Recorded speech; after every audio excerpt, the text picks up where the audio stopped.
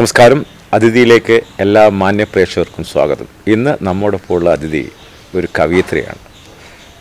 വടകരയിൽ നിന്നും പല കവിയത്രികളും നമുക്കറിയാം കടത്തനാട് മാധവിയമ്മ. അത് അത്രയും ഫേമസ് ആയ ഒരു മഹത് വ്യക്തിയുടെ നാട്ടിൽ നിന്ന് മറ്റൊരു കവിയത്രി നമുക്ക് വേണ്ടിയിട്ട് നമ്മോടൊപ്പം അതിഥിയിൽ പങ്കുചേരുകയാണ്. അവരുടെ കവിതകളൊക്കെ ഫേസ്ബുക്കിലാണ് അവർ അപ്ലോഡ് ചെയ്തിരുന്നത്. അതൊക്കെ നിരവധി നിരവധി ലൈക്കുകളും പ്രേക്ഷകരും ആരാധകരും ഒക്കെയുള്ളൊരു മഹത് വ്യക്തിയെ ഹൃദയപൂർവം സ്വാഗതം ചെയ്യുന്നു ഈ പ്രോഗ്രാമിലേക്ക്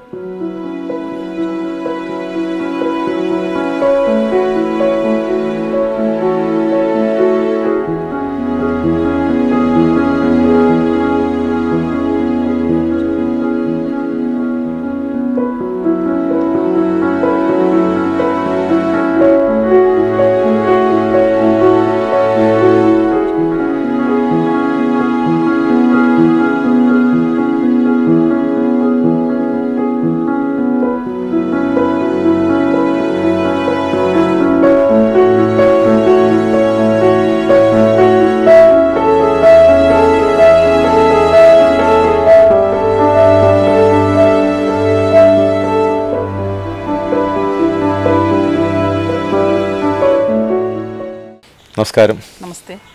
അപ്പം ഒരു കവിയാകുക അതിന്റെ ഭാവന. അത് ചെറുപ്പം മുതലേ ഉണ്ടായതാണോ? ചിലർക്ക് പ്രായം ഇങ്ങനെ കൂടി വരുമ്പോൾ വെറുതെ ലെഷർ ടൈമിൽ എഴുതി തുടങ്ങും അങ്ങനെയൊക്കെ. അപ്പോൾ ചെറുപ്പം മുതലേ ഈ ഒരു ഭാവന അല്ലെങ്കിൽ ഒരു കവി ഒരു കവിയുടെ ഹൃദയം മനസ്സിലുണ്ടായിരുന്നു? സ്കൂൾ കാലഘട്ടത്തിലാണ് മനസ്സിൽ കവിതകൾ ഇങ്ങനെ ചെറിയ ചെറിയ വരികളും കുറച്ച് ഭാവനകളൊക്കെ ആയിട്ട് എഴുതാൻ വന്നത് മനസ്സിലുള്ള. അപ്പോൾ അത് പിന്നീട് കോളേജ് കാലഘട്ടമായപ്പോൾ കോളേജ് സമയത്ത് കൂടുതലായിട്ട് ഇങ്ങനെ എഴുതുമായിരുന്നു. അതിനുശേഷം കോളേജ് മാഗസീൻസിൽ എഴുതാൻ തുടങ്ങി എഴുതാൻ തുടങ്ങിയിട്ടുണ്ട്. പിന്നീട് ഒരുപാട് നീണ്ട ഇടവേളയ്ക്ക് ശേഷം ഇപ്പോഴാണ് വീണ്ടും തുടർച്ചയായിട്ട് എഴുതാൻ തുടങ്ങി. ശരി. അപ്പം ആ കാലഘട്ടത്തിൽ ഒരു പ്രോത്സാഹനം എന്ന രീതിയിൽ ഇത് വായിച്ചു നോക്കിയിട്ട് ആദ്യം ഒരു കവി ഒരു കവിതയാണ് അല്ലെങ്കിൽ ഇത് രസമുണ്ട് എന്നൊക്കെ പറഞ്ഞത് ആരായിരിക്കും ഒരു പക്ഷേ അന്ന് കോളേജിലെ സുഹൃത്തുക്കൾ പിന്നെ അധ്യാപകർ ഒക്കെ നല്ല സപ്പോർട്ട് അത് ശരി. ആ കോളേജ് മാഗസിനിൽ എഴുതിയ കവിത ഓർമ്മയുണ്ട് ശരിക്കും? കോളേജ് മാഗസിനിൽ ഒരുപാട് വർഷങ്ങളായി. പിന്നെ ഒരു മിനിക്കഥയാണ് ഞാൻ എഴുതിയിട്ടില്ല മിനിക്കഥയും എഴുതിയിട്ടുണ്ട് കവിതകൾ എഴുതിയിട്ടുണ്ട്. കവിത ഓർമ്മയുണ്ടോ എന്ന് വെച്ചാൽ ഇപ്പോഴും ഓർമ്മയില്ല. ഓർമ്മയില്ല. ആ മാഗസിൻ ചിലപ്പോൾ കാണില്ലേ ഇവിടെ? അതൊക്കെ ഞാൻ പല സ്ഥലങ്ങളിലായിട്ട് ഇങ്ങനെ വീട് മാറി താമസിക്കുന്നത് അപ്പോഴേ നഷ്ടപ്പെട്ട്. അപ്പോൾ ആദ്യമായിട്ട് ഒരു രചന നിർവഹിക്കുമ്പോൾ എന്തായിരുന്നു മനസ്സിൽ? ഏതായിരുന്നു അതിന്റെ ഒരു സബ്ജക്റ്റ് കയറി വന്നത്? ഒന്നാമത് നമ്മളെ സമൂഹത്തിലുള്ള കൂടുതൽ പ്രശ്നങ്ങൾ തന്നെയാണ് ഞാൻ കവിതയിലേക്ക് ഉൾക്കൊള്ളിക്കാൻ ശ്രമിച്ചത്. പിന്നെ കൂടുതലും ഗ്രാമ ഗ്രാമത്തിന്റെ ഗ്രാമീണമായിട്ടുള്ള ഭംഗികളും അതിന്റെതായ എല്ലാ കാര്യങ്ങളും ഉൾക്കൊള്ളിച്ചുകൊണ്ടാണ് കവിതയിൽ എഴുതാറ്. പ്രകൃതി എന്ന് പറയുമ്പോൾ നമുക്ക് അന്തരിച്ച നമുക്ക് സു- സുമ ടീച്ചർക്ക് മുമ്പിൽ ആദരാഞ്ജലി അർപ്പിച്ചുകൊണ്ട് പറയാം. ആ കവിതകളൊക്കെ ശരിക്കും പറഞ്ഞാൽ ഹോണ്ട് ചെയ്തിട്ടുണ്ടോ? ഓ സുഗതകുമാരി ടീച്ചറെ ഞാൻ എപ്പോഴും ആരാധിക്കുന്നതാണ്. ടീച്ചറെ കവിതകൾ കൂടുതൽ വായിക്കാറുണ്ട്. ടീച്ചറാണ് എന്റെ എനിക്ക് എപ്പോഴും ഒരു വായിക്കാനുള്ളൊരു പ്രചോദനം ടീച്ചറെ കവിതകൾ എഴുതാനുള്ളതും. ശരി. അതുപോലെ പറഞ്ഞ പോലെ കവിതയുടെ പല കാലഘട്ടങ്ങളുണ്ട്. ശരിക്കും പറഞ്ഞാൽ നമ്മുടെ ഉള്ളൂർ കുമാരനാശൻ എന്ന് തുടങ്ങിയ കാലഘട്ടവും അതിന്റെ ഒരു രീതിയും അതിന്റെ ഒരു ശൈലിയും ഒന്ന് വേറെയാണ്. പക്ഷേ പുതിയ കാലഘട്ടത്തിൽ എനിക്ക് തോന്നുന്നു തുടക്കം കുറിച്ചത് എനിക്കൊന്ന് വേറൊരു ശൈലിയിൽ നമ്മുടെയൊക്കെ കാലഘട്ടത്തിൽ കടമ്പനിട്ട ബാലചന്ദ്രൻ ചുള്ളിക്കാട്. ഇപ്പൊ ഈവൺ ഇപ്പൊ വന്ന് വന്ന് നമ്മുടെ കാട്ടാക്കട നമ്മുടെ അന്തരിച്ച പനച്ചൂര പനച്ചൂരൻ. ഇവരുടെയൊക്കെ ശൈലികൾ ഏത് ശൈലിയിലാണ് എഴുതി തുടങ്ങാറ്? ഞാനങ്ങനെ ആ- ഒരു ശൈലി എടുത്തുകൊണ്ടല്ല. എന്റെ മനസ്സിൽ വരുന്ന വരികൾ അതേ ഒരു രീതിയിൽ ആരതും ഒരു അനുകരണ ഇല്ല അനുകരിച്ചുകൊണ്ടുള്ള ഒരു എഴുത്തല്ല. അങ്ങനെ ഒരു ആരാധിക്കുന്ന ആരെങ്കിലും ഉണ്ടോ? കവി കവി? സുഗതകുമാരി ടീച്ചർ ഏറ്റവും കൂടുതൽ ആരാധിച്ചു. ആരാധിച്ചിരുന്നത്. അപ്പം ഞാൻ ഇത് പറയാൻ കാരണം നമ്മുടെ ഒരു കാലഘട്ടത്തിൽ കവിത മാത്രമല്ല കവിത ചൊല്ലൽ കൂടി ആയപ്പോഴാണ് ഇത് കുറച്ചുകൂടി ഇത് ഇതിലേക്ക് വന്നത്. കുറച്ചുകൂടി അറിയപ്പെട്ടു. വന്നത് കാരണം ഇവരെയൊക്കെ കവിത ചൊല്ലു കടമനിട്ടേണ്ട കവിത ചൊല്ലുന്ന കേൾക്കുന്ന തന്നെ ഭയങ്കര അങ്ങനെയാണ് ഈ ചൊല്ലൽ വന്നത്. അത് അതിലൂടെ എങ്ങനെ പ്രതികരിക്കുന്നത്? ഈ കവിത എഴുതിയിട്ട് അത് ചൊല്ലാറുണ്ടോ? ഞാൻ ഇതുവരെ അങ്ങനെ ചെയ്തിട്ടില്ല. പക്ഷേങ്കിൽ അനിൽ പൻചൂരാനും അതുപോലെയുള്ള പിന്നെ നമ്മളെ ഇപ്പോഴുള്ള ആൾക്കാരൊക്കെ ഉണ്ടല്ലോ. അവരൊക്കെ ചെല്ലുന്ന നല്ല ആലാപനം. അവർക്ക് അതിനുള്ള കഴിവ് കൂടി ഉണ്ട്. ഞാനിതുവരെ അതിന് ട്രൈ ചെയ്തിട്ടില്ല. ശ്രമിച്ചിട്ടില്ല. ഞാൻ എഴുതൽ മാത്രമേ അത് അതുപോലെ ഒട്ടേറെ ഗാനങ്ങൾ എഴുതിയിട്ടുണ്ട് അല്ലേ? അതെ ഗാനങ്ങൾ എഴുതിയിട്ടുണ്ട്. അതൊക്കെ ഈണം നൽകിയിട്ടുണ്ടോ? അതോ ഇപ്പോഴും? ഈണം ഞാനല്ല. ഓരോ ഫസ്റ്റ് ഗാനം ഞാൻ ഫേസ്ബുക്കിലോട്ട് ഇട്ടപ്പം ഞാൻ എഴുതിയത് കവിതയായിരുന്നു. അപ്പോൾ അത് ഇട്ടപ്പോൾ എന്റെ ഒരു ബന്ധു പിന്നെ അവിടെ വിദേശത്ത് വെച്ചിട്ട് അവർ അത് കോപ്പി ചെയ്തുകൊണ്ട് മറ്റുള്ള ഗ്രൂപ്പുകളിലേക്ക് ഇട്ട്. ആ ഇട്ട സമയത്ത് പയ്യന്നൂരുള്ള ഒരു ഒരു സ്ത്രീ ഒരു ശ്രീജ എന്ന പേര്. അവർ ഇത് നമുക്കിത് റെക്കോർഡ് ചെയ്തുകൂടെ എന്ന് ചോദിച്ചു. അപ്പോൾ റെക്കോർഡ് ചെയ്തുകൂടെ എന്ന് ചോദിച്ചപ്പം വികാസ് വികാസ് എന്നവരെ പേര് ദുബായിലാണ്. അപ്പോൾ അവരോട് സംസാരിച്ച് എന്നെ വിളിച്ച് കോണ്ടാക്ട് ചെയ്ത്. അങ്ങനെ അവരാണ് ഫസ്റ്റിലത്തെ പ്രണയം എന്ന ഗാനം പിന്നെ റെക്കോർഡ് ചെയ്തത്. അതിനുശേഷം പിന്നെ ഇ വി വത്സം മാഷയ്ക്ക് ഞാൻ കവിതകൾ അയച്ചിട്ട് അഭിപ്രായങ്ങൾ ചോദിക്കാറുണ്ട് അപ്പോൾ മാഷു എന്നോട് പറയും ഹീറോ റെക്കോർഡ് ചെയ്യണം. നല്ല അഭിപ്രായങ്ങളെല്ലാം നല്ല പ്രോത്സാഹനവും തന്നിട്ടുണ്ട്.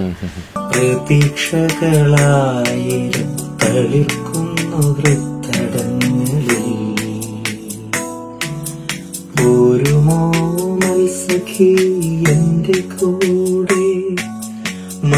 മഴയത്ത് നനയണം വഴികളിലുടനീളെ മാനസം. കുളിർത്തോരി മഞ്ഞായി പുൽകണം കാണുന്ന കണ്ണികളിൽ നീ മാത്രമാകണം. പ്രതീക്ഷകളായിരം തളിർക്കുന്നു വൃത്തടങ്ങളിൽ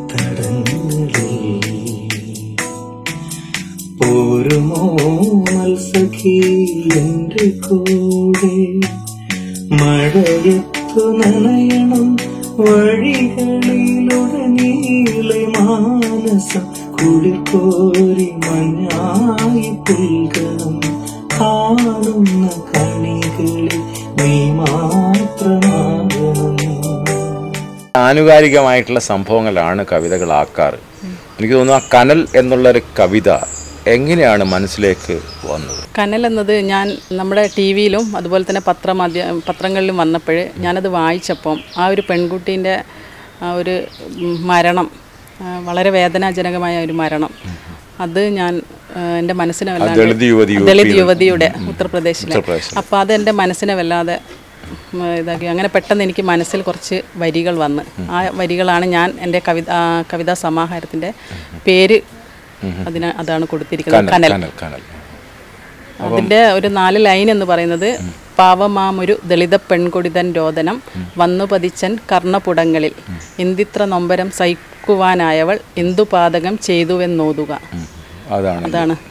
നമ്മുടെ ഗദ്യം പോലെ തന്നെ ഗദ്യത്തിന്റെ ഒരു നൂറ് പേജ് നമുക്ക് ഉള്ള ഒരു പുസ്തകം ഒരു കവിതയാണെങ്കിൽ അത് അതിന്റെ ആ, ഉള്ളടക്കം ഒരു രണ്ട് പേജിൽ ഒതുക്കാം ഇല്ലേ? അതെ അപ്പം അപ്പം നമ്മൾ വലിയ അപ്പം ആ ഒരു ആ ഒരു സം ഒരു ഒരു ഒരു ഒരു കഥ പോലെ അത് പറഞ്ഞു പോകാനുള്ള ഒരു മെത്തേഡിക്കൽ എങ്ങനെ ആദ്യം ഒരു ക്രാഫ്റ്റിംഗ് ഉണ്ടാക്കുമോ എന്നിട്ടാണോ ഇരുന്ന് നമ്മൾ അതിലേക്ക് വരികൾ എഴുതി ചേർക്കുന്നത്? എങ്ങനെയാണ് നമ്മളെ മനസ്സിലേക്കൊരു വിഷയം ആദ്യം കടന്നു വരുമല്ലോ. അതിനുശേഷം അതിനെപ്പറ്റി നമ്മളിങ്ങനെ മനസ്സിലൊരു ഒരു ഇതുണ്ടാവുമല്ലോ നമ്മളെ മനസ്സിൽ എഴുതേണ്ടത് എന്താണെന്നുള്ള വരികളെ പറ്റിയുള്ള ആ ഒരു ഇതിൽ നിന്ന് നമ്മൾ എഴുത്ത് തുടങ്ങും. പിന്നെ ആശയങ്ങളും ഭാവനകളും ഒക്കെ കൂട്ടിക്കലർത്തിക്കൊണ്ട് അതൊരു ഗദ്യ രൂപത്തിലോ പദ്യ രൂപത്തിലോ എങ്ങനെ വേണമെങ്കിലും നമുക്ക് എഴുതാൻ പറ്റും. എഴുതാൻ പറ്റും. അതിനൊരു മനസ്സിലൊരു ഒരു ഈണം ഉണ്ടാവുമോ അല്ലെങ്കിൽ എഴുതി വെക്കുകയാണോ? അങ്ങനെ ചെയ്യുന്നത്? അങ്ങനെയാണ് കവിത എഴുതുമ്പോൾ ഞാൻ പറയണം. ഞാൻ ഒരുപാട് ടൈമൊന്നും എടുത്തിട്ട് കവിത അല്ലെ ഗാനങ്ങളൊന്നും എഴുതാറില്ല. എന്റെ മനസ്സിൽ പെട്ടെന്ന് കടന്നു വരും വരികൾ. അങ്ങനെ ഞാനത് പെട്ടെന്ന് തന്നെ എഴുതി വെക്കും. അങ്ങനെ ഒരു ഒരുപാട് സമയം ആലോചിച്ചിട്ട് എഴുതുന്ന ഒരു അത് ഞാൻ ചോദിക്കാൻ വിട്ടു. ഏതൊരു സമയത്താണ് ചിലപ്പോൾ ചില ആൾക്കാർ കവിതകളൊക്കെ പെട്ടെന്ന് പിന്നെ ഉറക്കത്തിന് എണീച്ചിട്ട് വരികൾ എഴുതി വെച്ചിട്ട് കിടന്നുറങ്ങുന്നൊക്കെ കേൾക്കുക ഏതാണ് അതിന്റെ മൂഡ് ശരിക്കും പറഞ്ഞാൽ? ഒരു വീട്ടമ്മ നിൽക്കാൻ ആ വീട്ടമ്മ നിനക്ക് സമയം എങ്ങനെ കണ്ടെത്തുന്നു? അതും കൂടെ പറയാമല്ലോ ഞാൻ കൂടുതൽ സമയവും ഇതിന് തന്നെയാണ് കൂടുതൽ സമയം ഉപയോഗിക്കുന്നത് എഴുത്തിന്. അപ്പം എന്റെ മനസ്സിൽ അങ്ങനെ ഒരു ഗാനങ്ങൾ എന്നുള്ളത് ഇപ്പോൾ ഒരു വിഷയം എനിക്ക് ഏത് തന്നാലും പെട്ടെന്ന് എഴുത എനിക്കത് എഴുതാൻ പറ്റും. അങ്ങനെ ഒരു കോൺഫിഡൻസ് ഉണ്ട്. ഞാനിതുവരെ അങ്ങനെ ചെയ്തിട്ടുണ്ട്. കവിയരങ്ങിലേക്കൊരു ശ്രീനാരായണ ഗുരുദേവന്റെ കവിത അയച്ചു കൊടുക്കാൻ പറഞ്ഞിരുന്നു. അപ്പോൾ ഞാനത് പെട്ടെന്ന് തന്നെ എനിക്ക് കുറച്ച് വരികൾ മനസ്സിൽ വന്ന് അങ്ങനെ എഴുതി അത് അയച്ചു കൊടുത്തിരുന്നു അവർക്ക്. അത് ശരി. അത് കവിയരങ്ങിനെ പറ്റി പറഞ്ഞപ്പോൾ ഇതുപോലുള്ള കവികളുടെ കൂട്ടായ്മയിലൊക്കെ പങ്കെടുത്തിട്ടുണ്ടോ? ഇതുവരെ ഞാൻ ഞാൻ പറഞ്ഞല്ലോ ഞാൻ ഇപ്പോൾ ഒരു വർഷമായിട്ടേ ഉള്ളൂ. ഇപ്പോൾ കോവിഡ് സമയത്താണ് ഞാൻ ഈ കവിതേന്റെ സീരിയസ് ആയിട്ട് ഞാൻ ആ- ഒരു കവിത എഴുത്തിലേക്ക് വന്നത്. അതിനു മുൻപ് എനിക്ക് സാഹചര്യങ്ങൾ കൊണ്ട് എഴുത്തോ അങ്ങനെ ഒന്നും എന്റെ മനസ്സ് കടന്നു വന്നിട്ടില്ല. കുറേ വർഷത്തിന് ശേഷം ഇപ്പോഴാണ് ഞാൻ എഴുത്തിലേക്ക് വന്നത് പൂർണമായിട്ടും. അതുകൊണ്ട് തന്നെ ഈ കോവിഡ് സമയം കൊണ്ട് എവിടെയും പോവാറില്ലല്ലോ നമ്മളാരും. ഒരു കവിയരങ്ങോ അങ്ങനെ ഒന്നിലും ഞാൻ ഇതുവരെ പങ്കെടുത്തില്ല പക്ഷേ ഈ എഴുത്തുകാരൊക്കെ കോളേജ് കാലഘട്ടങ്ങളിൽ വലിയ താല്പര്യമാണ് പോയിട്ട് അവരെ സംസാരങ്ങൾ കേൾക്കാനും അതുപോലെ നമ്മളെ വീട്ടി വീട്ടി മുരളി സാർ വീട്ടി മുരളി സാറുണ്ട്. പിന്നെ എം ടി മുകുന്ദൻ. അങ്ങനെയുള്ള ആൾക്കാരൊക്കെ നേരിട്ട് കണ്ടിട്ടും. പിന്നെ അവരെ ഒക്കെ കേൾക്കാനൊക്കെ ശ്രമിച്ചിട്ടുണ്ട് ആ സമയത്തൊക്കെ കോളേജ് സമയത്ത്. മൗനം. ഉള്ളിലെ നോവിന്റെ ഭാഷയാകാറുണ്ട്. ചിലപ്പോഴൊക്കെ പ്രതികാരത്തിന്റെ ഭാഷയുമാകും. ഉള്ളിലെ കാർമേഘങ്ങൾക്കുള്ള ശാന്തി മന്ത്രമാകാറുണ്ട്. പിന്നെ തന്നിലെ സ്വകാര്യതകളുടെ കൂടാരമാകാറുണ്ട്. സ്മരണകൾക്ക് നിറച്ചാർത്ത് നൽകാറുണ്ട് മൗനം. പൊട്ടിത്തെറിക്കേണ്ട പ്രതികാരമണയ്ക്കാൻ മൗനത്തിനാകാറുണ്ട്. മൗനം ഒരു വേള ഹൃദയത്തിന്റെ ഭാഷയാകാറുണ്ട്. മനസ്സിലെ നിശബ്ദമായ സംഗീതമാവാറുണ്ട്. പ്രണയത്തിന്റെ സമ്മതമാകാറുണ്ട്. കണ്ണുനീർ പെയ്തു തോർന്നാൽ മൗനമേറെ തീവ്രമാകാറുണ്ട്.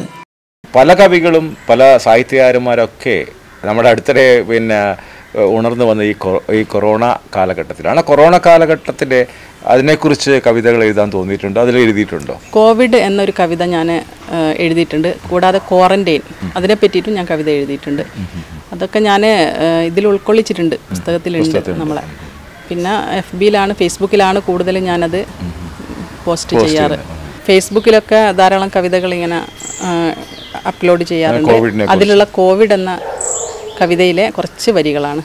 അശാന്തിയുടെ ദിനരാത്രങ്ങൾ ഭീതിയുടെ അഗാധ ഗർത്തത്തിൽ വിധിയുടെ തടവറയിലെ ബലിമൃഗങ്ങൾ നാം. പൊഴിഞ്ഞു വീഴുന്നു മർത്യജന്മം ആർത്തലയ്ക്കുന്നു ആത്മരോധനം പൊഴിഞ്ഞു വീഴും മൃതിയുടെ കരങ്ങളിൽ അണയുവതില്ലേ നിൻ താണ്ഡവ നൃത്തം. മനുഷ്യനിലൂടുള്ള നിൻ പ്രയാണം ഒടുക്കമെന്തെന്നറിയാതെ ലോകം. പകച്ചുപോയി ശാസ്ത്രം പോലും വിറച്ചിടുന്നു ലോകം മുഴുവൻ. കോവിഡ് അശാന്തിയുടെ ദിനരാത്രങ്ങൾ എന്നതാണ് കോവിഡ് എന്ന കവിത. കോവിഡിനെ കുറിച്ച് ആ കാലഘട്ടത്തെക്കുറിച്ച് തന്നെ കലികാലം എന്നൊരു കവിത എഴുതിയിട്ടുണ്ട് അല്ലേ? അതും ഒന്ന് പ്രേക്ഷകർക്ക് വേണ്ടിയിട്ട്. ബന്ധങ്ങൾ മരിക്കുന്ന അനുദിനം നിശ്ചലം മർത്യൻ തൻ ദുരയും അനുദിനമേറുന്നു. ദുരന്തങ്ങൾ വന്നിത ജീവിതം പൊലിക്കുന്നു. ജീവന്റെ തുടിപ്പും ഇന്ന് നിലയ്ക്കുന്നതെത്രയോ. കൊഴിഞ്ഞുപോം കാലം നാം ഒട്ടുമേ നനച്ചതില്ല. കൊഴിഞ്ഞുപോം ഇലകൾ പോൽ ഹൃദയതാളം നിലപ്പത്. ഒരുപക്ഷെ ഈ കവിതകൾ കേൾക്കുമ്പോൾ തന്നെ പ്രേക്ഷകർ കരുതുന്നുണ്ടാവും. ഈ ഒരു വീട്ടമ്മയ്ക്ക് ഈ കവിത പദങ്ങളും അതിലെ വരികളിലൊക്കെ ഓടുമ്പോൾ ആ കലികാലത്തിന്റെ എല്ലാവിധ വേദനകളും ഒക്കെ ഇതിൽ ഉൾക്കൊള്ളിച്ചിട്ടുണ്ട്. അതുപോലെ ആ- കോവിഡ് എന്നുള്ള കവിതയും. അപ്പം എനിക്ക് അതിശയം തോന്നുകയാണ് ഇരു- ഇരുന്നൂറിൽ പരം കവിതകൾ ഈ കവിയത്രി എഴുതി കഴിഞ്ഞു. അപ്പോൾ അതിന്റെ ഒരു പ്രകാശന കർമ്മം ഇരുപത്തഞ്ചാം തീയതി ഈ നമ്മുടെ ലക്ഷ്മി ഓടിത്ത് വെച്ച് നടക്കുകയാണ്. പി കെ ഗോവി സാറാണ് പ്രകാശനം. അതുപോലെ തന്നെ അവരുടെ ഗാനം ഗാനങ്ങളടങ്ങിയ സമാഹാരത്തിന് സി ഡി ഏറ്റുവാങ്ങുന്ന നമ്മുടെ പ്രിയപ്പെട്ട ഇ വി വത്സൻ അപ്പോൾ എനിക്ക് തോ എനിക്ക് ചോദിക്കാനുള്ളത് ഈ ഇരുന്നൂറിൽ പരം കവിതകൾ എഴുതുക. അത് തന്നെ ഒരു അതിശയം തന്നെയാണ്. എന്തായിരുന്നു ആ ഒരു കോവിഡ് കാലത്തെ ആ മൂഡ്? കാരണം വീട്ടിൽ പല ജോലികൾ കാണും. അതിന് അതിന് അതിനിടയ്ക്ക് എങ്ങനെയാണ് ഇതിനൊക്കെ സമയം കണ്ടെത്തുന്നത് കൂടുതലും അമ്മ ഹെൽപ്പ് ചെയ്യുന്നുണ്ട്. അതുകൊണ്ടാണ് എഴുതാനുള്ള ഒരു സഹായകരമാകുന്നത്. ഞാൻ എഴുത്തിന്റെ ഒരു ലോകത്താകുമ്പം ഞാൻ ഇതിന്റെ പുറകിലുള്ള ഒരു വീടുണ്ട് അവിടെ പോയിരുന്നുകൊണ്ട് സ്വസ്ഥമായിട്ട് എഴുതും. അപ്പം അങ്ങനെ കൂടുതൽ സമയം അതിനായിട്ട് വിനിയോഗിക്കുന്നുണ്ട്. എഴുതാനായിട്ട്. എഴുതാനായിട്ട്. ഇതൊന്ന് പ്രകാശനം ചെയ്യണമെന്ന് സ്വയം തോന്നിയാണോ? അതോ സുഹൃത്തുക്കളുടെയോടോ അമ്മയുടെ ഒക്കെ നിർബന്ധമാണോ എങ്ങനെ? കാരണം പല ആൾക്കാരും എഴുതിയിട്ട് വീട്ടിൽ വെറുതെ അട്ടി വെക്കുന്ന ആൾക്കാരൊക്കെ ഉണ്ടാവും ഇല്ലേ. പക്ഷെ ഇതൊന്ന് പുറത്ത് കാണിക്കണം. അല്ലെങ്കിൽ വായനക്കാർ ഇത് വായിക്കണം എന്ന് തോന്നി തുടങ്ങിയത് എപ്പോഴാണ്? അത് ഞാനിങ്ങനെ ഫേസ്ബുക്കുകളിലൊക്കെ ഇട്ടപ്പോൾ പല സുഹൃത്തുക്കൾ എന്നോട് പറയും നിങ്ങൾക്കൊരു കവിതാ സമാഹാരം ഇറക്കിക്കൂടെ? എന്നുള്ളത്. പിന്നെ അതുപോലെ തന്നെ എന്റെ മിക്ക സുഹൃത്തുക്കളും ചോദിക്കാറുണ്ട്. അപ്പോഴാണ് എനിക്ക് അതൊരു മനസ്സിൽ കാരണം ഇന്ന് നമ്മൾ സാമൂഹ്യ മാധ്യമങ്ങളിൽ ഇടുമ്പോൾ നമ്മളെ വരികളൊക്കെ മോഷ്ടിക്കപ്പെടുന്നൊരു അങ്ങനെ എന്റെ വരികളും മോഷ്ടിക്കപ്പെടും എന്നുള്ളൊരു ഇത് അവരൊക്കെ എന്നോട് പറയുമായിരുന്നു. അപ്പോഴാണ് പിന്നെ ഞാനൊരു സീരിയസ് ആയിട്ട് പുസ്തക പ്രകാശനം എന്നത് ഒരു ഏറ്റെടുത്തത് ചെയ്യാമെന്നത്. പി കെ ഗോപി സാർ എന്ത് പറഞ്ഞു? കവിത വായിച്ചിട്ടുണ്ടോ? ഓ പി കെ ഗോപി സാറാണ് അതിന്റെ അവതാരിക എനിക്ക് എഴുതി തന്നിട്ടുള്ളത്. നല്ല പ്രോത്സാഹനം നല്ല അഭിപ്രായങ്ങൾ തന്നത്. ശരി.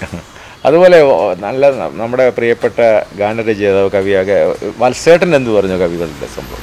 വത്സം മാഷ് ഞാൻ കവിതകൾ എഴുതിയപ്പോൾ പാട്ടുകളൊക്കെ എഴുതിയപ്പം വത്സം മാഷിന് അയച്ചു കൊടുത്തിരുന്നു കവിതകൾ അപ്പം നല്ല പ്രോത്സാഹനവും നല്ല അഭിപ്രായങ്ങളൊക്കെ മാഷ് പറയാറ്. അപ്പോൾ എന്റെ ഗാനങ്ങൾ സാറ് തന്നെ ട്യൂൺ ചെയ്തുകൊണ്ട് കുറച്ച് ഗാനങ്ങളൊക്കെ എനിക്ക് അയച്ചു തന്നിട്ടുണ്ടായിരുന്നു. അതിലുള്ള ഒരു മൗനം എന്ന ഗാനം ഞാനിപ്പോൾ റെക്കോർഡ് ചെയ്തിട്ടുണ്ട്. അതാണ് ഇപ്പം പുസ്തക പ്രകാശനത്തിന്റെ ദിവസം റിലീസ് ചെയ്യുന്നുണ്ട്. ആ സോങ്ങും കൂടി.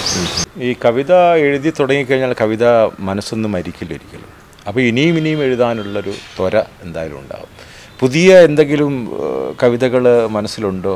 ഞാൻ പുസ്തക പ്രകാശനവുമായി ബന്ധപ്പെട്ട കുറച്ച് തിരക്കായതുകൊണ്ട് കവിതകൾ താൽക്കാലികമായിട്ട് എഴുത്തിൽ നിർത്തിവെച്ചിട്ടുള്ളത്. പക്ഷേ എങ്കിലും ആനുകാലികമായ കാര്യങ്ങളും പ്രകൃതി പ്രകൃതിയുടെ ഒക്കെ ഉൾക്കൊള്ളിച്ചുകൊണ്ടുള്ള കുറച്ച് കവിതകളൊക്കെ വീണ്ടും എഴുതണം എന്നത് മനസ്സിലൊരാഗ്രഹമുണ്ട്. മഴ പലപ്പോഴും ഹൃദയത്തിന് കുളിരേകാറുണ്ട്. ആദ്യമായി പെയ്തിറങ്ങിയ മഴയിൽ മണ്ണിന്റെ ഗന്ധം ഇഷ്ടപ്പെടാത്തവരാരുണ്ട്? മഴത്തുള്ളിയായി മനസ്സിൽ ഗാനങ്ങൾ വിടരാറുണ്ട്. കവിതകൾ നാം എടുക്കാറുണ്ട്. മഴയത്ത് നനഞ്ഞതും നനയാൻ കൊതിച്ചതുമായ ബാല്യകാലമുണ്ട്. മഴക്കെടുതിയിൽ ദുരിതങ്ങളുമേറെയുണ്ട്. നീണ്ട ഇടവേളയ്ക്ക് ശേഷം മഴത്തുള്ളികൾ വീഴുമ്പോൾ കടലിനും അരുവിക്കും തോടുകൾക്കും ഏറെ കഥകൾ പറയാനുണ്ടാകും. മഴ പ്രളയമാകുമ്പോൾ നഷ്ടപ്പെടുന്ന ജീവിതങ്ങൾ ജീവന്റെ പിടച്ചിൽ നമുക്ക് ചുറ്റിലുമുള്ള പക്ഷിമൃഗാദികളെ ഓർത്തു നോക്കൂ. തലചായ്ക്കാൻ സ്വന്തമായി ഒരു കൂര പോലുമില്ലാത്ത അവർ ശക്തമായ ഈ കാറ്റിലും മഴയിലും എങ്ങനെ ജീവിതം തരണം ചെയ്യുന്നു? മഴയുടെ രൗദ്രഭാവം ഏറെ ഭയാനകമാണ്. ശാന്തമായ ഭാവം അനുഭൂതിയാണ്. മഴയെ നീ ചാറിക്കോളൂ പെയ്ത് തോർന്നോളൂ. പക്ഷേ പേമാരി പോൽ വേദനിപ്പിക്കാതിരിക്കൂ. പ്രണയ കവിതകളും പ്രണയഗാനങ്ങളൊക്കെ മനസ്സിൽ കയറി വന്നിട്ട് അങ്ങനെയുള്ള ഉള്ള കവിതകളുണ്ടോ നമ്മുടെ കൂട്ടത്തിൽ? ഓ പ്രണയം ഗാനങ്ങളുണ്ട് ഇപ്പോൾ എഴുതിയത്. പ്രണയത്തിനെ കുറിച്ചുള്ള ഗാനങ്ങളും കവിതകളും ഒക്കെ എഴുതിയിട്ടുണ്ട്. എഴുതിയിട്ടുണ്ട് അഥവാ കോളേജ് തലത്തിൽ ഉള്ള ഓർമ്മകളോ ആലോചിച്ച് താലോലിച്ചു കൊണ്ട് എഴുതുന്നതാണോ? അതോ ഇപ്പോഴുള്ള ഇതാണോ? ശരിക്കും പറഞ്ഞാൽ ഞാൻ ഞാൻ കൂടുതലായിട്ട് ഈ കവിതകളും ഗാനങ്ങളും എപ്പോഴും ജോലി ചെയ്യുമ്പോഴായാലും അല്ലെങ്കിലും അല്ല എനിക്ക് ഗാനങ്ങൾ ഇങ്ങനെ എപ്പോഴും കേട്ടുകൊണ്ടേയിരിക്കണം കവിതകളും. ആ ഒരു ഇതിൽ നിന്ന് ആയിരിക്കാം ഒരു പക്ഷേ എഴുതാനുള്ള ഒരു ഏഹ്, വരികൾ എന്റെ മനസ്സിലോട്ട് വന്നിട്ടുണ്ടാവുക. അല്ലാണ്ട് പ്രത്യേകിച്ചൊരു ഇല്ല ഇല്ല. ഇല്ല ഇല്ല. സുഗതകുമാരി ടീച്ചറുടെ ഓർമ്മകൾ അതുപോലെ തന്നെ അദ്ദേഹം അവർ പ്രകൃതി നശിപ്പിക്കുന്ന പ്രകൃതിയുടെ ക്രൂരതയ്ക്കെതിരെയാണ് കൂടുതലും എഴുതിയിരിക്കുന്നത് അല്ലേ? വനം നശീകരണം അതുപോലെ അതുപോലുള്ള അങ്ങനെയുള്ള കാര്യങ്ങളാണോ നമ്മുടെ കവിതയിൽ വരുന്നത്? അതോ പ്രകൃതിയുടെ ഭംഗിയാണോ? എന്താണ് ഞാൻ പ്രകൃതിയെ നമ്മൾ നോവിക്കുന്നുണ്ടല്ലോ. മനുഷ്യരിപ്പം പ്രകൃതിനെ ഒരുപാട് ദുരുപയോഗം ചെയ്യുന്നുണ്ട് നോവിക്കുന്നുണ്ട്. അതിന്റെതായ ഒരു ദോഷഫലങ്ങളാണ് നമ്മളിപ്പോഴും അനുഭവിച്ചുകൊണ്ടിരിക്കുന്നത്. അതൊക്കെ ഞാൻ കവിതയിൽ ഉൾക്കൊള്ളിച്ചിട്ടുണ്ട്. എന്റെ മണ്ണ് എന്ന കവിത. അതിലുണ്ട്. നമ്മൾ ഹേമർത്യ നിന്നാശത്തിന് നീ തന്നെ സാക്ഷി എന്നതാണ് ഞാൻ അവസാനിപ്പിക്കുന്ന ലൈന്. അപ്പം നമ്മൾ തന്നെയാണ് ഈ നമ്മുടെ ഈ പ്രകൃതിയുടെ ദുരുപയോഗം ചെയ്തിട്ടും നമ്മുടെ എന്താ പറയുക നമ്മളെ ഈ പരിസരങ്ങൾ മലിനമാക്കിയിട്ടും വായു മലിനീകരണവും ഒക്കെ കാരണം നമ്മൾ തന്നെയാണെന്ന് നമുക്കറിയാം. എന്താ എന്നാലും നമ്മൾ തിരുത്താൻ തയ്യാറല്ലായിരുന്നു. അതുകൊണ്ട് തന്നെ ഈ ദുരന്തങ്ങൾ വീണ്ടും വീണ്ടും നമ്മളെ വീണ്ടും വേട്ടയാടും ആവർത്തിച്ചുകൊണ്ടേയിരിക്കും. അപ്പൊ ഇതിന്റെയൊക്കെ പിന്നിൽ ഹസ്ബൻഡിന്റെ ഒരു ശക്തി എന്തായാലും ഉണ്ടായിരിക്കുമല്ലോ അല്ലേ? ഇവരിപ്പം ഗൾഫിലാണെങ്കിലും അവിടെ നിന്ന് ഈ കവിതയൊക്കെ വായിച്ചിട്ട് എന്തായാലും അഭിപ്രായം പറയാറ്? നല്ല സപ്പോർട്ടാണ്. നന്നായിട്ട് സഹകരിച്ച് എന്നോട് പ്രോത്സാഹിപ്പിക്കുന്നുണ്ട്.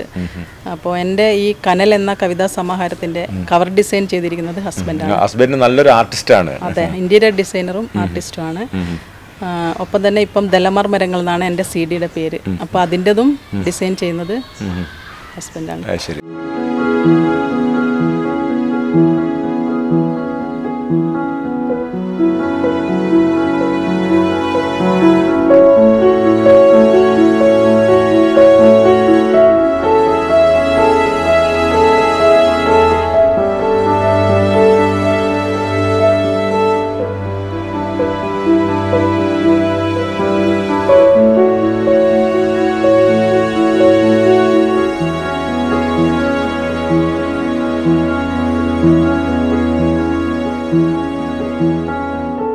ദേശശബ്ദത്തിലെ എഴുതുന്നുണ്ട് അല്ലേ? കവിതകൾ ശബ്ദം മാഗസീനിൽ എഴുതുന്നുണ്ട് കവിതകൾ അജിത കൃഷ്ണ മുക്കാളിയാണ് എഡിറ്റർ അപ്പം ടീച്ചറെ ആ മാഗസീനിൽ ഞാൻ സ്ഥിരമായിട്ട് ഇപ്പൊ കവിത എഴുതുന്നുണ്ട്. ടീച്ചറുടെ അഭിപ്രായം എന്താണ് കവിത ടീച്ചർ നല്ല സപ്പോർട്ടാണ്. ടീച്ചറും ഇതുപോലെ തന്നെ പ്രോത്സാഹിപ്പിക്കുന്നുണ്ട് നന്നായിട്ട് എഴുതുന്നുണ്ട്. അപ്പോൾ ടീച്ചറെ ടീച്ചർ എടുത്തു പറയേണ്ട കാര്യം എന്താ വെച്ചാൽ ടീച്ചറാണ് പുസ്തക പ്രകാശനത്തിന് വേണ്ട എല്ലാ സഹായങ്ങളും എല്ലാ വ്യക്തികളെയും എനിക്ക് പരിചയപ്പെടുത്തി തന്നെ. ടീച്ചർ സ്വന്തം ഒരു കൂടപ്പറപ്പിനെ പോലെ എനിക്കെല്ലാം സംസാരിച്ചിട്ടും എല്ലാവരെയും ആയിട്ട് സംസാരിച്ചിട്ടും എനിക്ക് വേണ്ട എല്ലാം ടീച്ചർ എനിക്ക് ഇതുവരെ ചെയ്തു തന്നിട്ടുണ്ട്. ടീച്ചറോട് വലിയൊരു നന്ദിയുണ്ട്. എനിക്ക് കടപ്പാടുണ്ട്.